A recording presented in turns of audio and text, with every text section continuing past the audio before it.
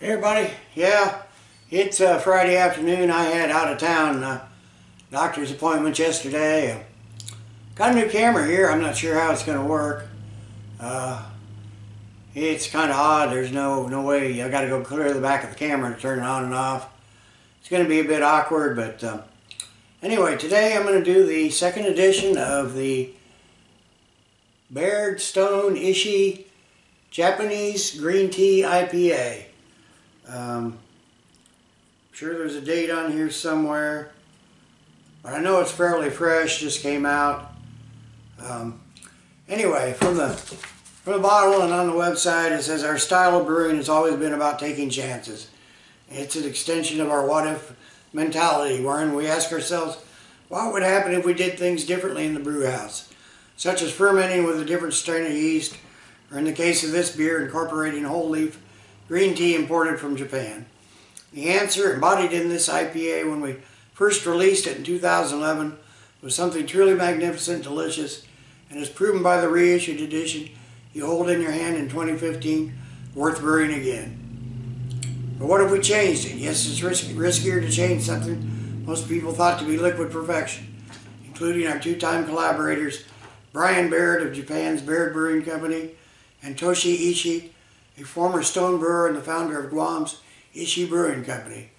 But we found that when we approached with cautious curiosity and logic-driven creativity, reward often follows such a risk. And there's, there's some more, I'll put it down below, but they apparently changed their hops from a New Zealand hop to a Helga hop from Australia.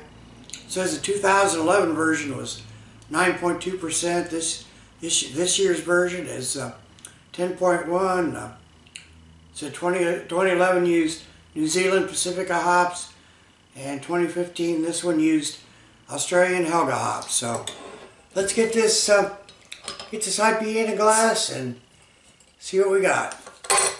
I've seen it on the shelf for a little while, so I know it's not quite as fresh as it should be, but uh,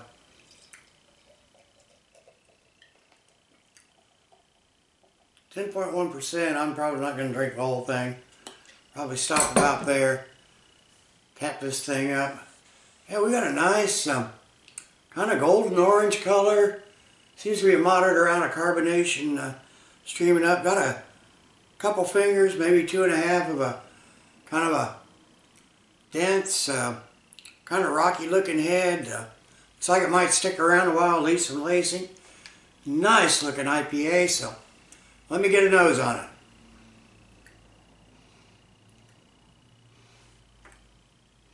Oh, there's big citrus notes on this. There's grapefruit and lemon zest and maybe some orange peel. Uh, definitely getting that uh, that green tea in there. It's kind of a light, um, light, earthy, almost floral note to it. Um, really nice, uh, kind of herbal, grassy earthiness to it. Uh, some light, light pine notes in there. Um, just a little bit of some little bit of some malts, like a light caramel and some bready notes. Nice, nice smelling beer. There's a lot going on here, so let's get a taste.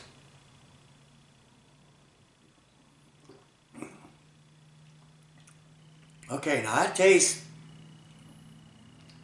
tastes like it smells, only even more so. I'm getting some really big um, grapefruit right up front. Uh, again, those all those citrus notes. Uh, lemon zest, the orange peel, uh, some nice pine notes in there.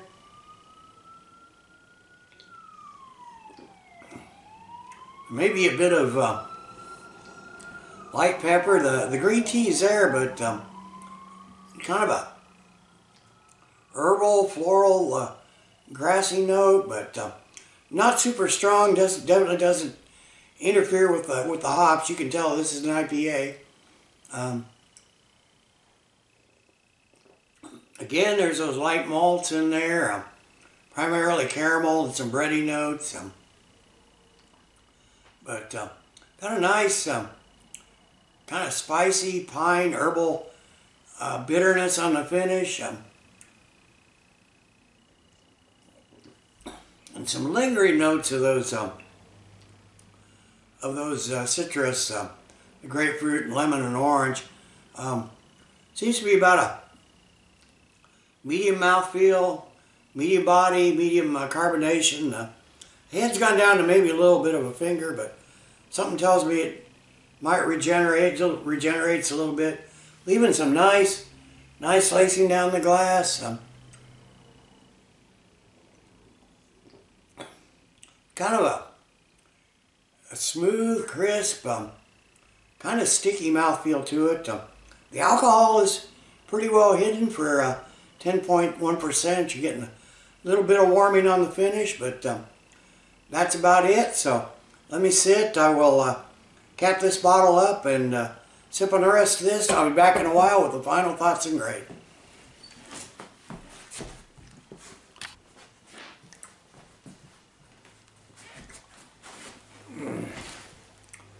Okay, I'm back. It's been, oh, 20 minutes, maybe half an hour or so. I've been sipping on this. Is a really nice, um, interesting IPA. I don't think I've ever had a, a green tea IPA before. Um, it's got a really nice complexity to it. Um, but everything's um, nicely balanced. Got the citrus, um, floral hop notes, um, the earthy uh, tea light notes, um, some moderate malt flavors, um, uh, very smooth, uh, very uh, very crisp to drink for the for the 10.1% uh, ABV.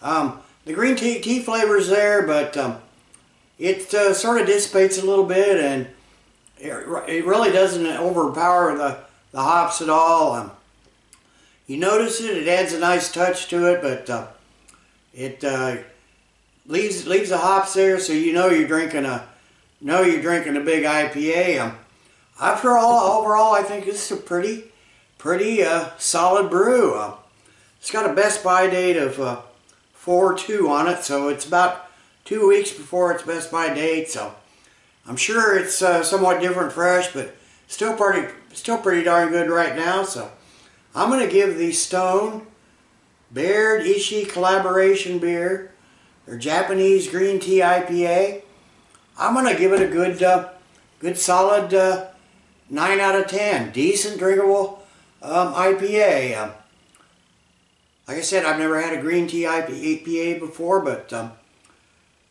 this is a good one. Um, oh yeah, and uh, happy Pi Day tomorrow for everybody. 3.1415. And you can go a little further if you do something at a certain hour and minute, but uh, anyway. Um, yeah, 9 out of 10. So, until next time, everybody, cheers. Let's keep drinking good beers. I haven't lived in an apartment for over 30 years. This is something I'm getting used to. So, dog goes off when the neighbors move. So, until next time, everybody.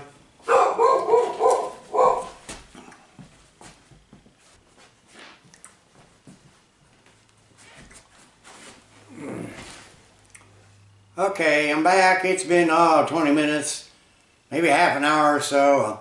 I've been sipping on this. This is a really nice, um, interesting IPA. I don't think I've ever had a, a green tea IPA before. Um, it's got a really nice complexity to it. Um,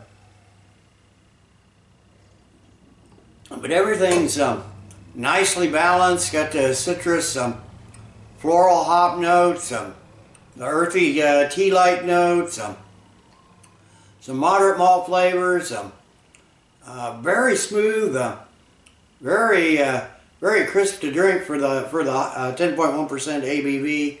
Um, the green tea tea flavors there, but um, it uh, sort of dissipates a little bit, and it, it really doesn't overpower the the hops at all. Um, you notice it; it adds a nice touch to it, but it leaves leaves the hops there, so you know you're drinking a know you're drinking a big IPA. Um, after all, overall, I think this is a pretty, pretty uh, solid brew. Uh, it's got a best by date of uh, 4-2 on it, so it's about two weeks before its best by date. So I'm sure it's uh, somewhat different fresh, but still pretty, still pretty darn good right now. So I'm going to give the Stone Baird Ishii Collaboration Beer, their Japanese Green Tea IPA, I'm going to give it a good, uh, good solid uh, nine out of ten. Decent, drinkable um, IPA. Um, like I said, I've never had a green tea IPA before, but um,